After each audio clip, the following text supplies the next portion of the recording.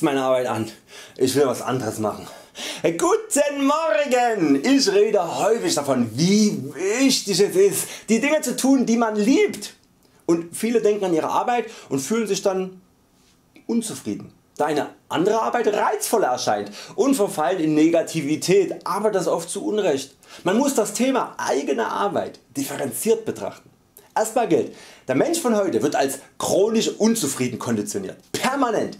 Wir wollen immer mehr und haben ja, und, und, und streben quasi unser ganzes Leben nach Dingen die wir nicht haben um sie dann zu bekommen. Das mag einerseits eventuell durchaus genetisch verankert sein, das ist aber ein Thema für ein anderes Video.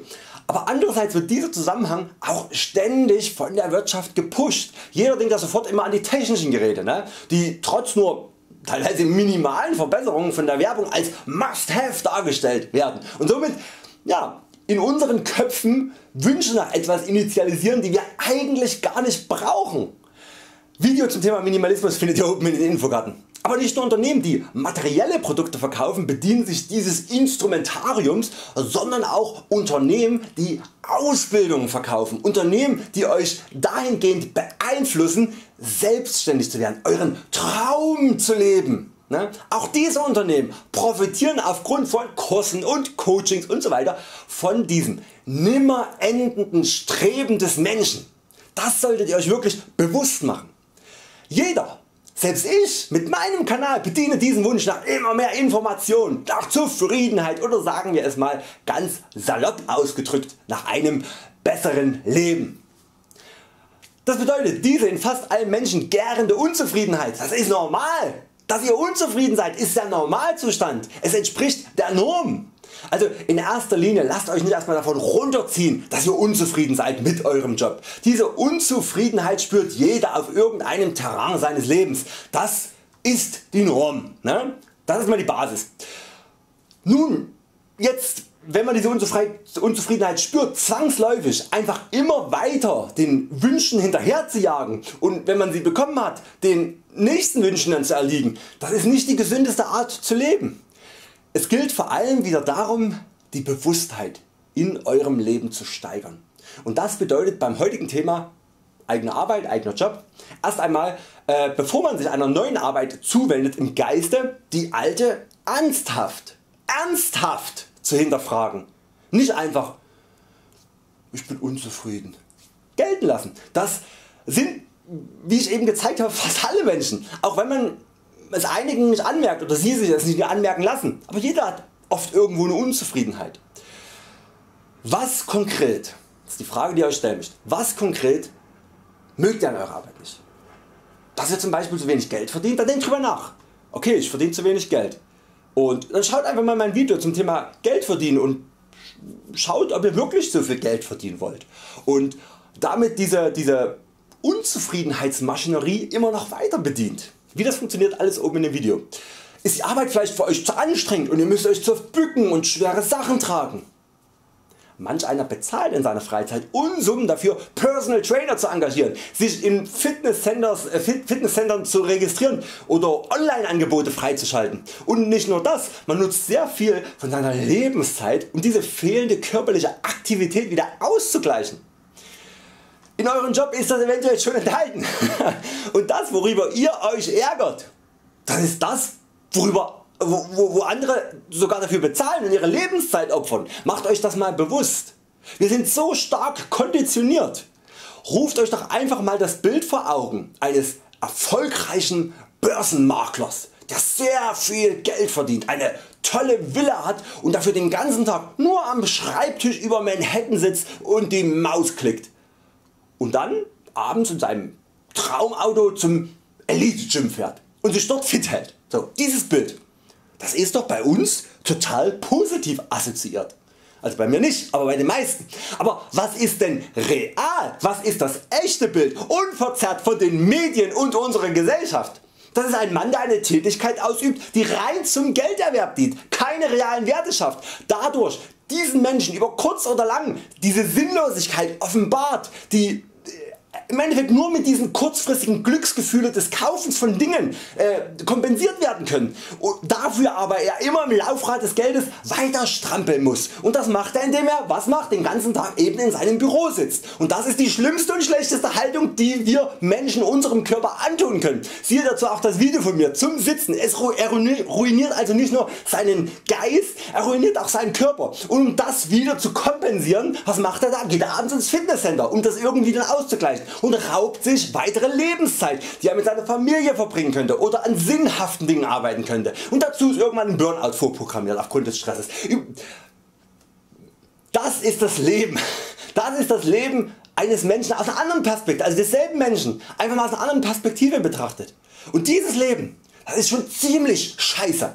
Und ich kann das sagen aus erster Hand. Das war jahrelang mein Leben.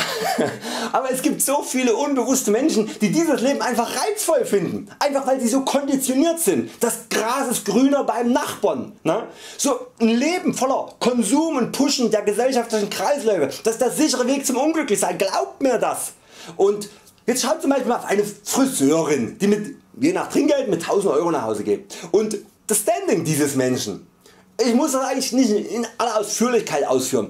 Ich bin mir sicher jeder von Euch hat da so ein Bild im Kopf. Diese Person kann aber aufgrund des geringen Einkommens nicht diesen nimmer endenden Konsumkreislauf bedienen und sich Glücksgefühle quasi beiläufig äh, erschaufeln, sondern muss sich ein bisschen intensiver mit dem Leben auseinandersetzen und wird zwangsläufig äh, ja, da auch eine gesündere Geisteshaltung find, äh, wird man bei einer Friseurin finden. Ähm, sie spricht doch den ganzen Tag mit Menschen und so nennen sie das auch mag, werden Werte ausgetauscht, Gespräche geführt, soziale Interaktion führt zu gemeinsamen äh, Erlebnissen, zur Hilfestellung und so weiter. Die Friseurin erbringt zudem eine, eine praktischen und äh, zugegebenermaßen auch subjektiv empfundenen ideellen Wert, äh, die Schönheit, äh, und, und weiß am Abend wie viele Menschen sie etwas Gutes getan hat, äh, die Leistung die sie erbracht hat. Sie ist je nach Ausstellung des Salons auch äh, ständig in Bewegung und braucht mit Sicherheit am Abend kein Fitnesscenter. Das sind jetzt nur zwei willkürliche Beispiele mit meiner Interpretation. Darum geht es jetzt in dem Thema nicht. Ne? Es geht darum dass ihr nicht einfach unzufrieden seid, weil ihr einen 9-to-5 Job habt, weil alle Welt einen 9-to-5 Job als Sinnbild für eine scheiß Arbeit ansehen. Das kann es tatsächlich sein, aber es muss es nicht sein. Auch denke ich persönlich ist nicht jeder dafür gemacht selbstständig zu sein. Manche sind mit den Annehmlichkeiten eines Arbeitnehmerdaseins viel besser bedient. Lasst Euch nicht Wünsche in den Kopf pflanzen die ihr gar nicht habt, sondern die einfach Trend sind. Passt da wirklich auf. Wenn ihr Reinigungskraft seid, dann denkt nicht wie die Gesellschaft Eure Arbeit bewertet und wie Euer Standing ist, sondern wie ihr die Arbeit bewertet. Das was ihr tut, das was die Arbeit ausmacht und ja, wie sich die Arbeit anfühlt, das sind die Dinge die ihr analysieren müsst. Und versucht zu jedem Aspekt den ihr betrachtet einen positiven als auch einen negativen Aspekt zu finden, sowohl von der Arbeit die ihr ausführt als auch von eurem Traumjob. Werdet Euch in erster Linie wirklich erstmal eurer Arbeit wirklich bewusst bevor ihr unzufrieden seid. Und erst dann wenn ihr wirklich aus eurem Innersten spürt dass ihr etwas tut was ihr eigentlich nicht tun wollt, dann Lasst Euch inspirieren und sucht einen neuen Weg. Aber nicht nur weil es trendy ist sich selbst zu verwirklichen, äh, ja, sein eigenes äh, Unternehmen zu starten und äh, euer berufliches Selbst zu finden oder was da immer für hohle Phrasen da geschlagen werden. Ne? Das sind oft hohle Phrasen, weil man dann einfach nur konditioniert wird, nicht in das eigene Selbst, in das wirklich sich finden, sondern dann müsst ihr dieses Set kaufen und dann müsst ihr das machen und dann das ist immer nur dieselbe Scheiße, die ich wirklich bei Facebook, bei Instagram, bei YouTube, die ich auf jedem dieser, dieser Selbstverwirklichungskanal oder bei vielen dieser Selbstverwirklichungskanäle immer wieder sehe. Am Ende dann kauft mein Produkt und ich zeige euch die 5 Steps to Road to Success und ah, ich kann mich kotzen. Sich selbst finden, darum geht es erstmal. Sich selbst finden. So. Und das ist eine Analyse. Das ist nichts leichtes. Das muss man analysieren, da muss man nachdenken und so weiter. Sucht Euch Menschen die, die ehrlich mit Euch da auch drüber rekapitulieren können. Freunde, ganz normale Menschen die es ehrlich mit Euch meinen. Ne? Also, ich hab's mal wieder fließen lassen, ich merk's. Gut, ähm, ich sehe gerade im, ähm, im, im Online-Business, ähm, da sind jetzt sehr sehr viele ähm, Menschen unterwegs, die eben dieses, dieses Selbstverwirklichen auch tatsächlich realisieren wollen. Ausgehend von den Informationen die sie bekommen haben, von den vielen Informationen, äh, ja, sind sie gerade dabei durch die Decke zu starten. Ne? Äh, tun was du liebst, sich selbst verwirklichen, ohne dass ich mich jetzt da wieder reinsteigere. Aber ja und wenn ich diese Menschen beobachte und ich unterhalte mich auch teilweise mit den Menschen, dann habe ich sehr oft das Gefühl, dass sie eben nicht tun was sie wollen. Sie tun was sie tun sollen. Die nicht, sie wissen nicht wirklich ja, was, sie, was, was ihr Innerstes sagt. Sie, sie lassen sich das sagen.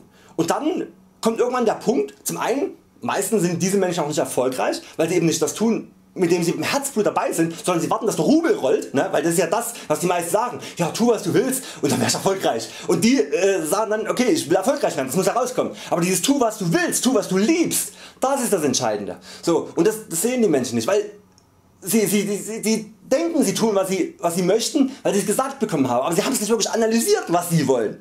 Analysiert das wirklich, ehrlich, ganz ehrlich was ihr wollt. Und wenn das Kloputzer ist, ne? egal was das ist, seid ehrlich zu euch und sagt das will ich machen. Ne? Und das, wenn der Beruf kein Standing hat, wenn das ein ganz ganz blöder Beruf ist in gesellschaftlich anerkannt, scheiß drauf.